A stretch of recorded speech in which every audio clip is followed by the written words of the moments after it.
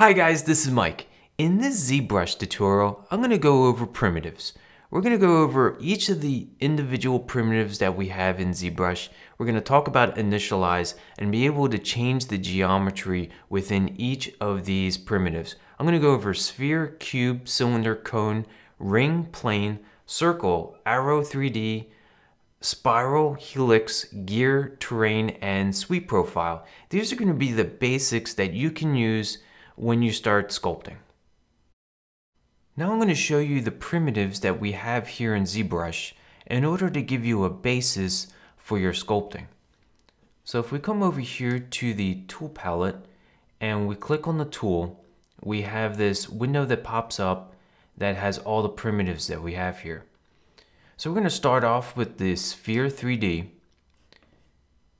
Click and drag within your canvas and then hold down Shift to snap this alignment to up straight up and down. And now we're going to make it editable. We'll go over here to click on this button or T on your keyboard. Now if we go down here to our tool palette, we'll see Initialize.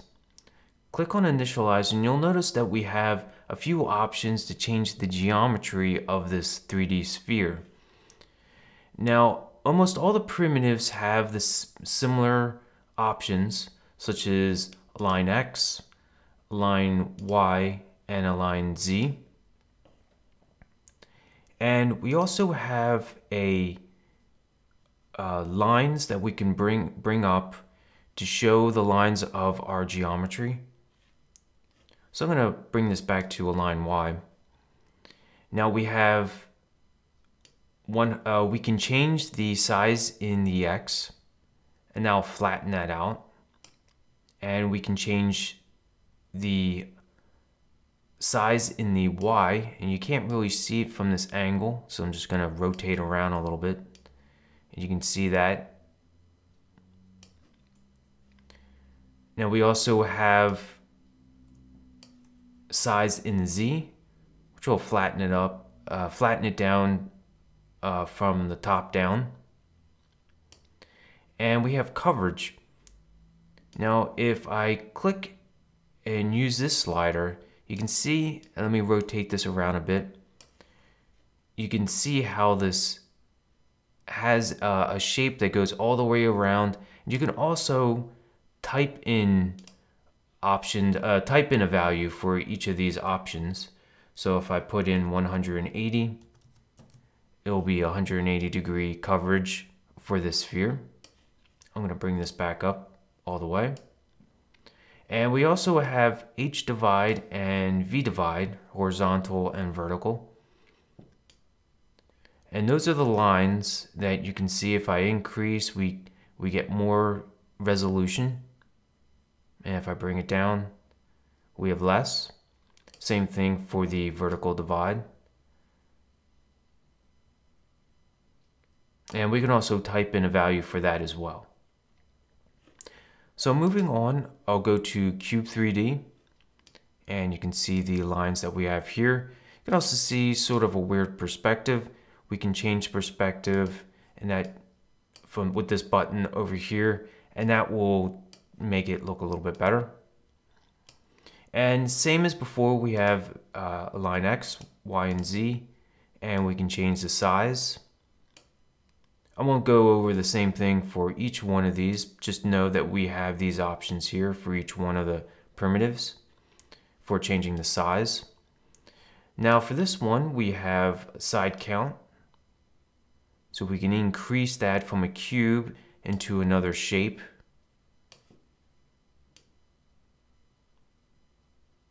And we can bring this all the way up.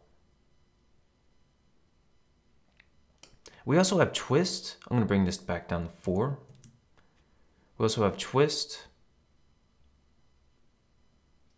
And we can increase the resolution on that, which the H and V divide.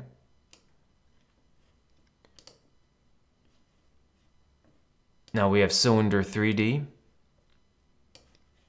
And the same alignment and size. But we also have inner radius which can create a tube And you can see that on both sides. And the various divisions. And we have taper top. And now taper your cylinder.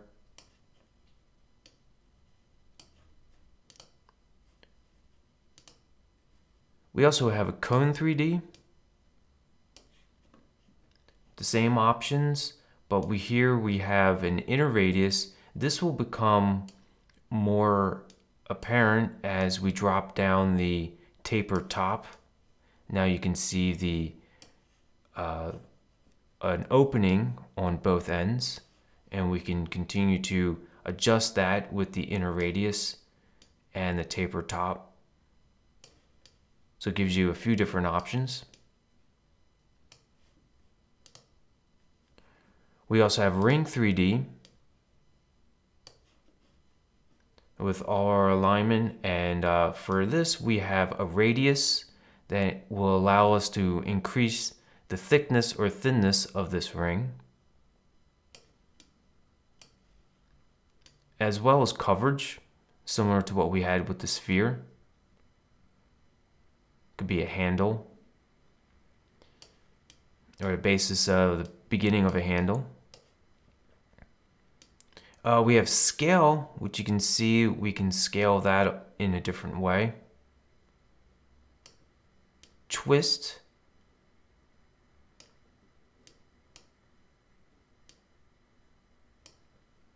And our subdivisions. Or not subdivisions, but our uh, divide for our for geometry. And we have twist, which rotates the lines.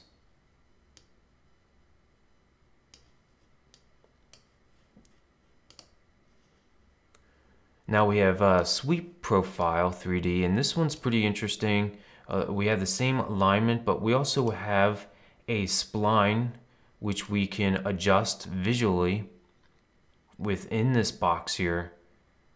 And we can move this line as well, this point, and this will give us a different shape for our 3D. And we also have a, excuse me, we have a few different options by using these sliders so we can do the same basic thing uh, visually that we did with our spline. And you can see we have a few different options here that you might need, uh, as well as being able to save, reset, and um, make adjustments, uh, load. So we have a few different options here with this particular primitive. And we also have a similar uh, options here. Let me go back and reset.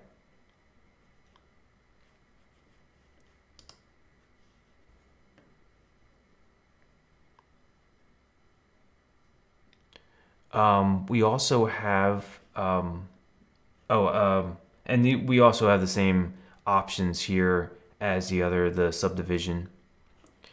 So let me go to terrain 3D. And same as before, we have uh, similar options. But here we also have uh, some ability to change the profile as before. You can see how we can adjust this spline.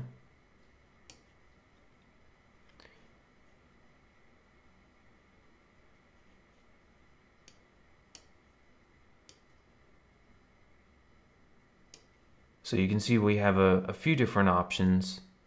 Let me close this one.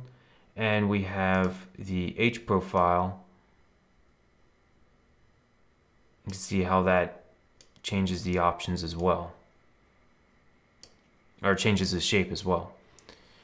Next, we'll move on to the plane 3D, which is uh, your basic plane. Pretty self-explanatory. And, excuse me, we also have a circle 3D as well. And this is similar what we had with the sphere. We have a coverage. We have our uh, radius. inner radius and outer radius.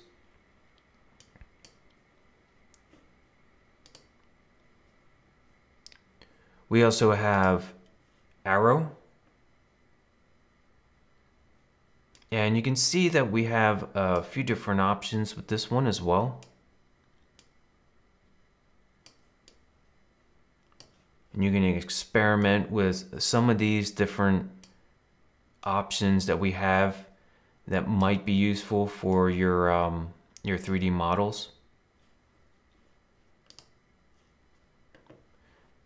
Next, we have a Polymesh 3D.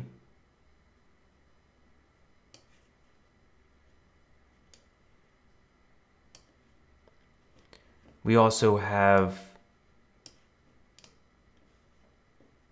Spiral 3D.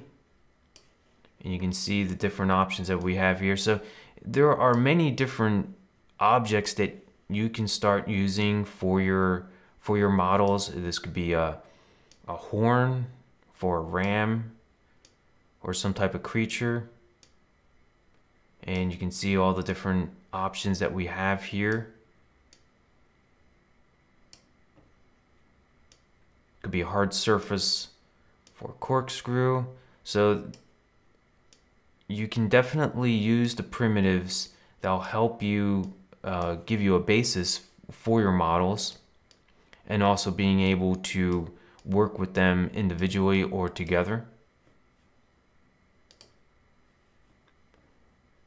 And I believe I looked at all of them except for, oh, uh, the uh, Helix 3D, and we'll get into the gear. So we have this option as well. There's some really fun and interesting pr primitives that we have here. Um, that are different than we have in Cinema 4D.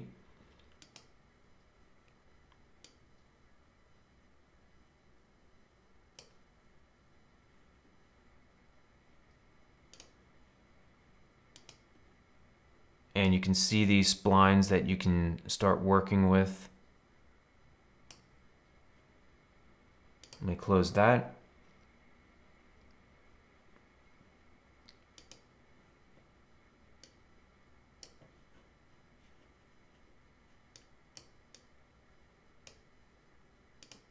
And we have our normal subdivision and uh, divisions that we have here for the, each of the lines. And now I want to get to gear, which is uh, gear 3D, which is has a bunch of different options. You can see we can you can make some pretty complex shapes. Uh, let me rotate this around a bit.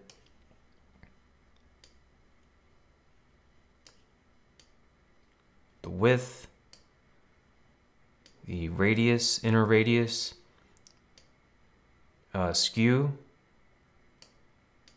tilt, which you can see makes some pretty interesting shapes. And we have the outer radius. So you can definitely make uh, some pretty imaginative hard surface as well as uh, interesting shapes.